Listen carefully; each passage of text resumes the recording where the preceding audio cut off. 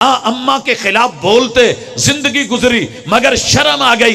बीवी पे ज्यादतियाँ करते, उम्र गुजरी, मगर आज शर्म आ गई। शौहर की नाफरमानी करते, उम्र गुजर गई, मगर आज शर्म आ गई। सुन्नत को कत्ल करते, उम्र गुजर गई। आज शर्म आ गई। बिदातो खराफात में ज़िंदगी गुजरी, मगर आज शर्मा गया घबरा गया हाँ हाँ तन्हाई में जाकर के रो पड़ा।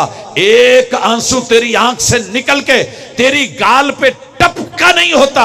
मैं तेरे सारे गुना मुआफ दुनिया में करके, नेकियों में बदल के, मैं इतनी कदर करूँगा तेरी, कल कयामत के दिन अपने अरश का साया आता कर दूँगा।